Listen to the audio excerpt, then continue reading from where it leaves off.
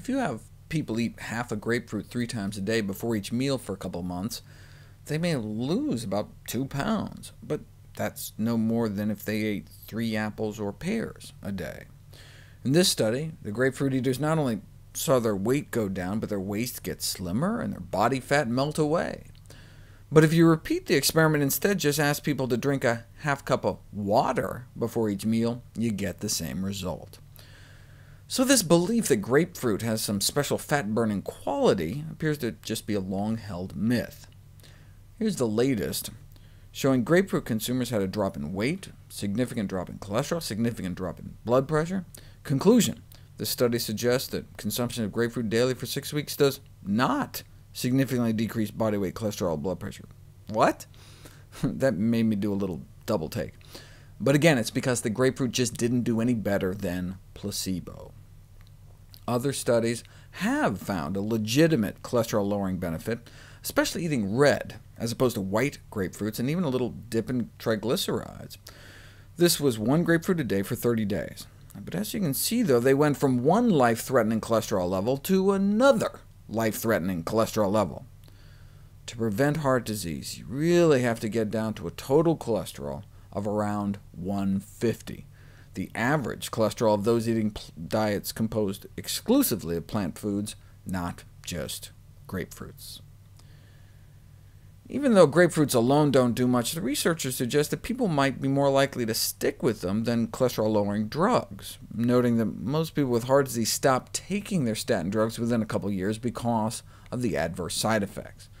Whereas you know, grapefruit alone don't have any side effects, but ironically, combine grapefruits and drugs together, and you can make drug side effects even worse.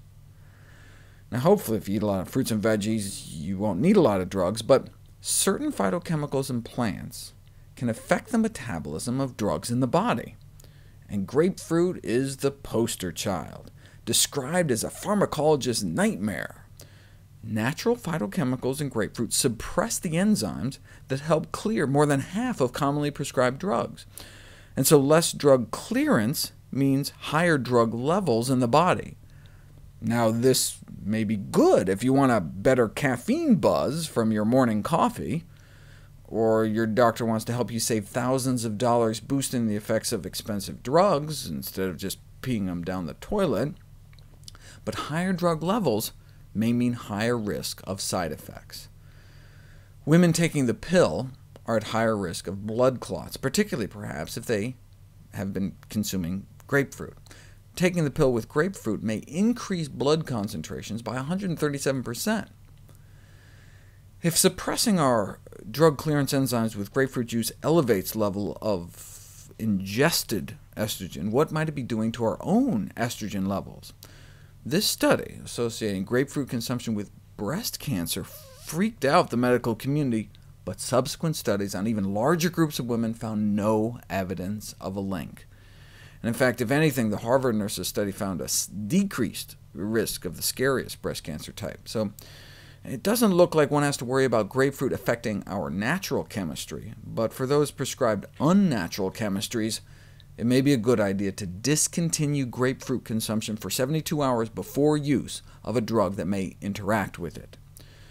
If you don't want to give up your grapefruit, you can ask your doctor about switching from one of the grapefruit-affected drugs like Lipitor to one of the citrus-proof alternatives.